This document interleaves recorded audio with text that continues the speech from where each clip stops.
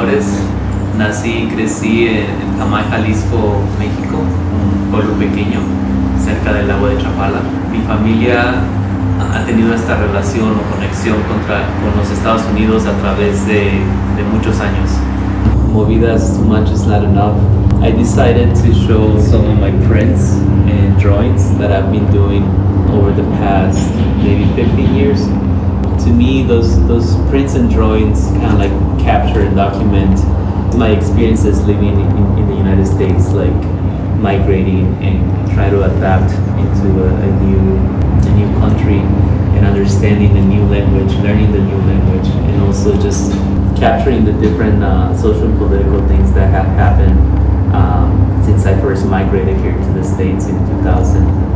Movidas is kind of like just this idea of, of kind of like making do with what's available, but also a lot of improvisation.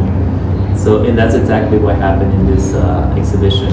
I started with sending the drawings and prints, but not really knowing exactly how everything was going to be laid out.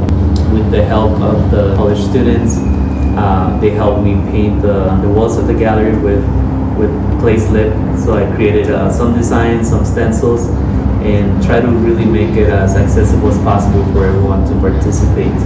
Para mí es importante hacer arte que tiene que ver con un tipo de narrativa, como propósito mandar un mensaje y, y que a través de ese mensaje tal vez genere un poco de conciencia con las, las personas que están viendo la obra o los que interactúan con estas instalaciones o, o murales que he hecho en el pasado.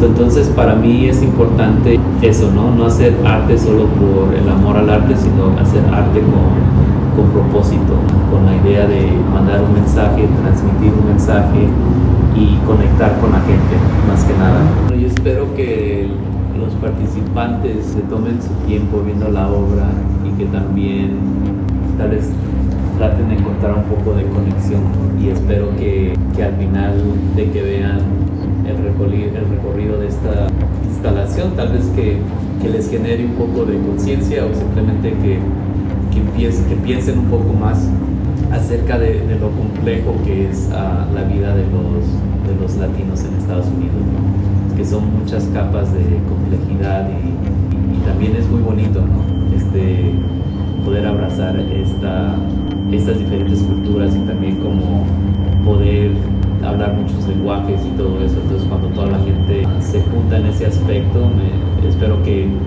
que estén más, que, que, busquen más como lo que tenemos en común que, que, las diferencias, ¿no? Y también como que abrazar las diferencias, ¿no? Las diferencias entre uno mismo no,